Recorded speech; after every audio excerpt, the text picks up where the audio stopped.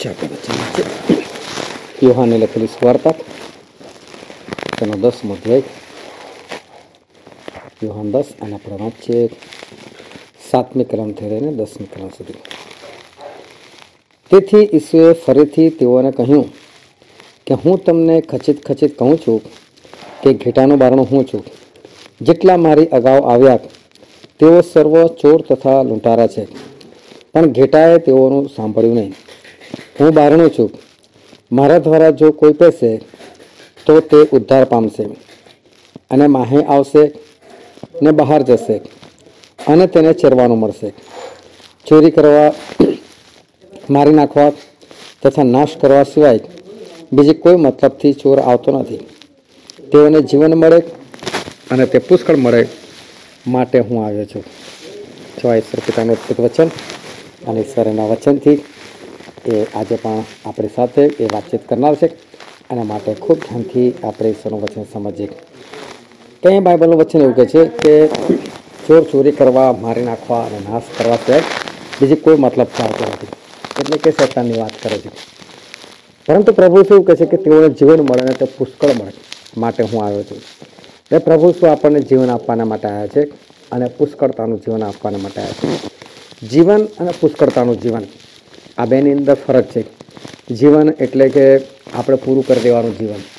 ઘણા બધા લોકો આપણે પૂછીએ કે શું કરો છો?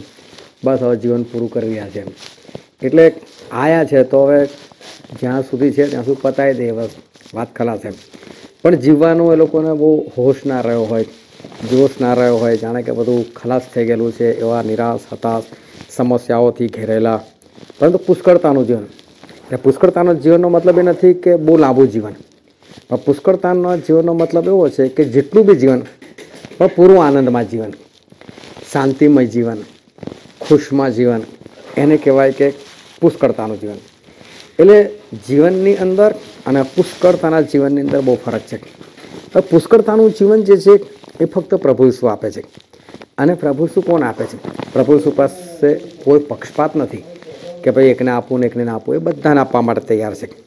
અને જોવા છે તો એમણે જીવન આપી જ દીધેલું છે. પરંતુ આપણે જીવન જે છે એને લેવાનું છે. તો આ જે દસમો અધ્યાય છે, યુહાને લખેલી સુવાર્તા, બહુ અદ્ભુત અધ્યાય છે. અને એની અંદર ઉપર લખેલું છે શરૂઆતની કલમની અંદર પહેલી જ કલમ, કે હું તમને ખચિત ખચિત કહું છું કે જે બારણામાંથી ઘેટાના વાળામાં પેસતો નથી, પણ બીજે કોઈ રસ્તેથી ચડે છે, તે ચોર તથા લૂંટારો છે. પણ બારણામાંથી જે પેસે છે, તે ઘેટા પાળક છે. દરવાન તેને સારું ઉઘાડે છે અને ઘેટા તેનો સાથ સાંભળે છે અને તે પોતાના ઘેટાને નામ લઈને બોલાવે છે અને તેઓને બહાર દોરીને લઈ જાય છે.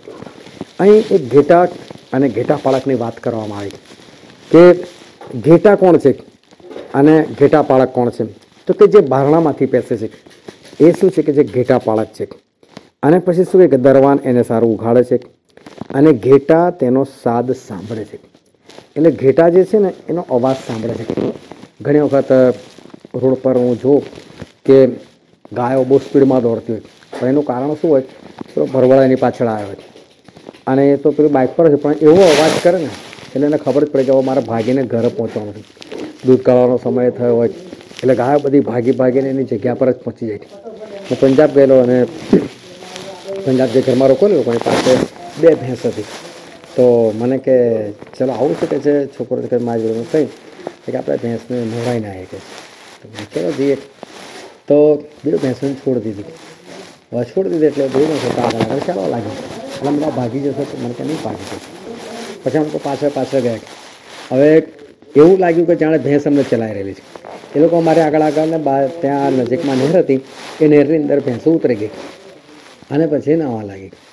અને પછી નાવા લાગે ને, અમુક સમય થઈ ગયો, એ લોકોનો પ્રોગ્રામ પત્યો, એટલે આણે ખાલી એક અવાજ કર્યો ને તરત બહાર નીકળી ગઈ અને ફરી પછી ચાલતી ચાલતી અમે એની પાછળ પાછળ અહીં સીધી ઘરે ને, જે ગાડી બાંધવાની ત્યાં જઈને ઊભી થઈ ગઈ તો એણે જે કર્યું, એનો જે અવાજ, એ અવાજથી એને ખબર પડી કે હવે અમારે બહાર નીકળવાનું છે, અને હવે અમારે જવાનું પણ કોઈ આનાકાની નહીં, કોઈ રમઝક નહીં, કશું નહીં, અને એ પોતાના ઘરે પહોંચી ગઈ. અહીં બાઇબલ એવું કહે છે કે ઘેટા તેનો સાદ સાંભળે છે.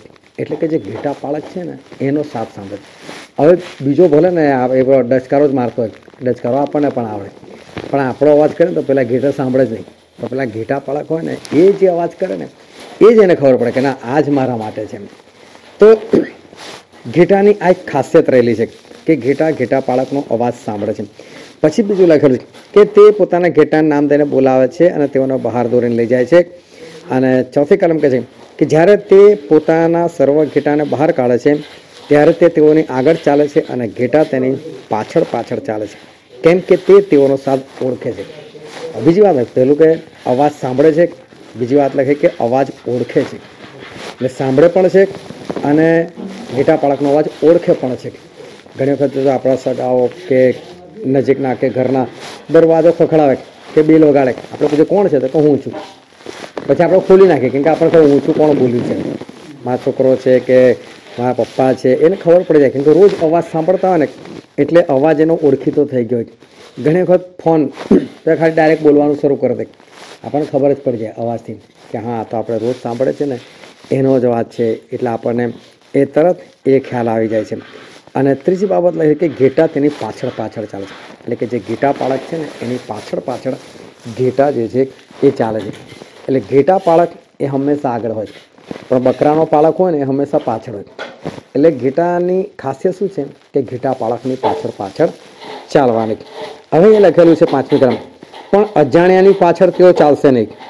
પણ તેની પાસેથી નાસી જશે. એટલે કે ઘેટા અજાણ્યાની પાછળ નથી ચાલતા.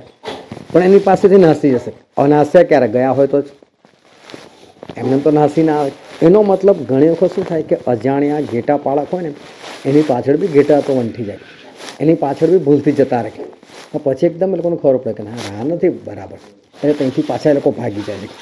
એટલે અજાણ્યાની પાસે જાય છે ખરાક પણ એની પાસે ચાલે નહીં. એની પાસે નાસી હશે. અને પછી લે, કેમ કે અજાણ્યાનો સાદ તેઓ ઓળખતા નથી. આવી રીતે પ્રભુ શ્રી ખ્રિસ્તે આ વાત કરી. અને પછી આ જે દ્રષ્ટાંત કીધું, તો આ લોકો બધા જે છે, એ લોકો કોઈ કરતાં કોઈ કશું સમજ્યું નહીં. પરંતુ પ્રભુ શું એવું કહેવા માગે છે કે આ ગીટા પાળક અને આ પણ જે પ્રભુ શું પાછળ ચાલનાર વિશ્વાસ કરનાર, એ લોકોને ઘેટા કહેવામાં આવે છે. એટલે ઘેટાની ખાસિયત શું છે? તો કે પ્રભુ શું જે બોલે છે ને, એને સાંભળવું. સાંભળવાનો ખરો અર્થ છે પાળવું. પ્રભુ સુખ્રિસ્ત જે છે, કહે છે, એ અવાજ ઓળખો. એટલે ઘણી વખત છે ને બાઇબલમાંથી જ ભમાવનાર લોકો આવે. તમે જો યહોવાના સાક્ષી. એ લોકો આપણને એવું શીખવાડે, ભાઈ, યહોવાને જ માનવાનો. આ એ શું કશું જ નથી. ઓનલી જીસસવાળા પણ છે કે જે ખાલી પ્રભુ ઈસુને જ માને છે. પવિત્ર આત્મા નથી માનતા કે પછી યહોવા બાપને નથી માનતા. એવા બધું બસ ઈસુ જ છે. ઘણા બધા લોકો ખાલી પવિત્ર આત્મા પવિત્ર આત્મા જ કરતા હોય. બીજા બેને પડતા, મૂકતા હોય. ઘણા લોકો આમથી તેમથી બાઇબલમાંથી જ. પરંતુ એવી રીતે આપણે સમજાય. હમણાં તો એક નવો પંથ થયો થોડા વર્ષોથી અને આખી દુનિયામાં ફેલાઈ ગયું. એ લોકો માતા પરમેશ્વર શોધી કાઢ્યું. જો કદાચ તમને કદી અનુભવ થયો હતો એ લોકો એવું કહે છે કે પ્રભુ ઈસુ પત્ની છે કે છે. અને એમના લગ્ન થયેલા છે. અને એ આપણી મા છે કે છે. બાપ તો છે ને કે છે મારે. પણ કે મા હોય ને આપણે સાચું કહે. એટલે માને માનવાનું પ્રભુ ઈસુની બૈરી છે કે છે. આવું લોકો બાઇબલમાંથી પાછા શીખવાડે છે. એટલે આવું બી માનનારા લોકો છે. એટલે આ બધા અજાણ્યા લોકો. પણ આપણને થોડી ખબર છે કે આ શું કહેવા કહેવાના છે. એટલે એ જે બોલશે, આપણે સાંભળીશું તો ખરાબ ને સાંભળ્યા પછી આપણને ખબર પડે કાં તો બાઇબલને કંઈક બીજી બાજુ લઈ જાય છે. એટલે આપણે ઓળખીને શું કરીશું? ભાઈ ના તું રહ ને તારી પાછળ અમારે નથી ચાલુ. એટલે ઘેટાની આ ખાસિયત રહેલી છે કે ઘેટાઓ એ ઘેટા પાળક જે છે, એટલે કે પ્રભુ શ્રી જે છે, એનો અવાજ સાંભળે છે, એટલે કે પાળે છે, એમનો અવાજ ઓળખે પણ છે અને એમની પાછળ ચાલે છે. એટલે પ્રભુ શ્રી આપણા ઘેટા પાળક છે કે વિશ્વાસી તરીકે આપણે ઘેટા છે. અને જો આપણે ઘેટા છે તો પ્રભુ શ્રીકૃષ્ણનો અવાજ જે છે ને બાઇબલની અંદર આવી ગયેલો છે. આ બાઇબલ એટલે પ્રભુ શ્રીનો અવાજ. આને આપણે વારંવાર વાંચીએ, વારંવાર સાંભળીએ, સમજીએ, તો આપણને ખબર પડી જશે કે બાઇબલ હકીકતમાં આપણને શું કહેવા માગે છે. તો ભમાવનારની પાછળ આપણે જઈશું નહીં. અને આપણે શું કરવું આપણને ખબર પડશે, આપણે કેવી રીતે જીવન જીવવું એ આપણને ખબર પડશે. અને જ્યારે આપણા ઘેટા બને, ત્યારે પ્રભુ શું એવું કહે છે કે ચોર ચોરી કરવા મારી નાખવા અને નાશ કરવા સિવાય બીજો કોઈ મતલબથી આવતો નથી. એટલે ચોર તો શું કરે છે કે ઘેટાઓને મારી નાખવા માટે આવે છે. એકવાર એક ઘેટા પાળક હતો. અને રોજ જે એના ઘેટા છે ને, એક એક ઓછું થાય તો એ વિચારમાં પડ્યો કે ઘેટું ઓછું કેમનું થાય છે? હું તો કહે છે કે કશું દેખાતું નથી મને કે પણ ઘેટું ચોરે કહી જાય છે? એ જ્યારે બહાર લઈ જાય, ત્યારે પણ ગણીને લઈ જાય છે, પાછો લાવે, ત્યારે પણ ગણીને બરાબર હોય છે. તો ઘેટું ખવાય છે કે જગ્યાએ? વાળામાંથી કોઈ ચોર નથી આવતો, ગાયબ કેમનું થાય છે? તો છે ને એણે સીસીટીવી કેમેરા મૂકી દીધા આ સીસીટીવી કેમેરા મૂકીને પછી એને જોયું. તો ઘેટાના વેશની અંદર ઘેટાનું ચામડું પહેરીને વરુ સાથે રહેતું હતું. અને હું આ શું કરે રોજ એક ઘેટાનું ઉડાવી નાખ્યું રોજ એ લોકોની જોડે બહાર નીકળાય, રોજ એ લોકોની જોડે જવાનું અને એક ઘેટાનું ઉડાવી નાખવાનું. એટલે એને ખબર પડી કે આ જે છે ઘેટાને મારી નાખે છે. એટલે શેતાનની ચાલ શું છે? કે ઘેટા એટલે કે વિશ્વાસીઓને નાશમાં લઈ જવાની. પ્રભુ શું કહે છે? કે તેઓને જીવન મળે અને તે પુષ્કળ મળે માટે હું આવ્યો છું. એટલે પુષ્કળતાનું જીવન કોના માટે છે? ઘેટા માટે જે ઘેટા છે, એ લોકોના માટે પુષ્કળ જીવન છે. પણ જે ઘેટા નથી, બકરા જેવા શિંગડા ઉછાળનાર લોકો હોય, તો પછી એને પુષ્કળતાનું જીવન ના મળે. એટલે આપણે જો પુષ્કળતાનું જીવન જોઈએ છે કે ભલે લાંબુ ના હોય, ભલે કદાચ ટૂંકું જીવન હોય, પરંતુ શાંતિ અને આનંદવાળું જીવન હોય. અને જીવનના જીવનમાં શાંતિ અને આનંદ હોય, એનું જીવન લાંબુ જોઈએ એનું જીવન ટૂંકું ના હોય. શાંતિ હોય, આનંદ હોય, એટલે એને બીમારીઓ ના આવે, એને કોઈ સમસ્યાઓ ના આવે, અને ટેન્શન ના આવે, એટલે બિંદાસથી જીવતો હોય, એટલે એને કશું ના થાય. અને એનું આયુષ્ય પણ લાંબુ જ હોય. અને માટે ઈશ્વર આપણને લાંબુ આયુષ્ય અને પુષ્કળતાનું આયુષ્ય આપે છે. પરંતુ આપણે ઘેટા બનવાની જરૂર છે અને ઘેટા બનીને ઈશ્વર પાછળ ચાલીશું, એમનો અવાજ ઓળખીશું, એમની આજ્ઞાઓ પાડીશું અને પાછળ ચાલીશું, તો પુષ્કળતાનું જીવન એ આપણા હાથમાં છે. હા પ્રાર્થના કરીએ. સર્વશક્તિમાન અમારા જીવતા ઈશ્વર, અમારા મહાન પરમેશ્વર, અમારા મહાન દેવ, અમારા રાજા, અમારા માલિક અમે તમારો પુષ્કળ આભાર માને છે અમે તમારી સ્તુતિ કરે તમારી પ્રશંસા કરે છે આજે ફરીને એકવાર તમે અમને આ જગ્યા પર એકત્ર કર્યા. તેના માટે અમે તમારો આભાર માને છે તમારા દયાને કૃપાના માટે અમે તમારો આભાર માને છે અને અત્યારે પરમેશ્વર પિતા જ્યારે જગ્યા પર અમે નમેલા છે ત્યાં પરમેશ્વર પિતા અમે તમારી સ્તુતિ કરતા. અમે તમારો આભાર માને છે જે વચન તમે આજે અમને પૂરું પાડેલું છે, એ વચન પ્રમાણે ઘેટા બનવાના માટે અમને દરેકને તમે શક્તિ, સામર્થ્ય આપો કે જેથી કરીને તમે અમારા ઉત્તમ ઘેટા પાળક છો. અમે તમારો અવાજ ઓળખીને, અમે તમારો અવાજ સાંભળીને, અમે તમારી પાછળ ચાલનાર છે, અજાણ્યાથી નાસનાર છે, તેવી અમે તમને વિનંતી કરી, તમારી પાસે કૃપા માગે છે. આજના વચનના આશીર્વાદથી તમે અમને સંતૃપ્ત કરો. તે કૃપા માગે છે. આ ઘરની અંદર જે કંઈ કામકાજ ચાલે છે, તે ખૂબ સારું થાય, વ્યવસ્થિત થાય, કોઈ પણ જાતનું નુકસાન ન થાય અને પરમેશ્વર પિતા બગાડ ન થાય. તેવી અમે તમને વિનંતી કરે, તમારી પાસે કૃપા માગે છે. તમારા લોકોનો પૈસો ખોટી જગ્યા પર ખર્ચ ન થાય તેવી અમે તમને વિનંતી કરે છે અને ખૂબ જલ્દી પિતા, જે કામ પૂરું થાય તેવી અમે તમને વિનંતી કરે છે અને પરમેશ્વર પિતા, હું પ્રાર્થના કરે છે તમારા બાળકો માટે. તેઓ હું તમે પુષ્કળ આશીર્વાદથી ભરપૂર કરો. આ ઘરની અંદર વધુ બાઇબલ વંચાય, વધુ પ્રાર્થનાઓ થાય, તમારા સંતોનો સેવકો વધુ આવે. અને તમારા લોકો પણ તમારી સંગતમાં આગળ આગળ વધતા જાય તે કૃપા માગે છે. વિશેષ કરીને તમારા દીકરાની જે આજે બર્થડે છે, તેના માટે અમે તમારો આભાર માને છે પરમેશ્વર પિતા જીવનના એકવીસ વર્ષ તમે તેમનું રક્ષણ કર્યું છે. સાચવ્યો છે સંભાળે છે માટે અમે તમારો આભાર માને છે. આજથી જે નવું વર્ષ આપેલું છે તેના માટે અમે તમારી સ્તુતિ, પ્રશંસા કરે છે આ નવું વર્ષ પરમેશ્વર પુષ્કળ પુષ્કળ આશીર્વાદિત થાય.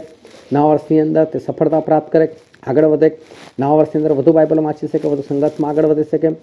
આત્મિકતાની અંદર આગળ વધી શકે, પવિત્ર આત્માની અંદર આગળ વધી શકે, તે કૃપા માગે છે. નવા વર્ષની અંદર કોઈ શત્રુ, શતાન, બીમારી, શ્રાપ, કોઈ પણ પ્રકારનો વાયરસ, કોઈ પણ પ્રકારની બીમારી તમને સ્પર્શ ના કરે, તે અમે તમને વિનંતી કરે તમારી પાસે કૃપા માગે છે. તમારા સ્વર્ગીય ભંડારથી આગળને ભર લખો, ઘરનું તમે ચોક તમે રક્ષણ કરો, તે કૃપા માગે છે. અને પ્રભુ પરમેશ્વર, તમે અમને પણ જેમ સહી સલામત લાવ્યા છે, એમ સહી સલામત પાછા લઈ જજો, રસ્તામાં રક્ષણ કરજો, તમારી કૃપામાં અમને ધરાવજો જે કંઈ પરમેશ્વર પિતા પ્રભુ સમય માગ્યું તમે આપ્યું છે, કબૂલ કરતા, અમારા મુક્તિદાતા ઉદ્ધાર કરતા પ્રભુ ઈશ્વરના નામમાં. આમેન.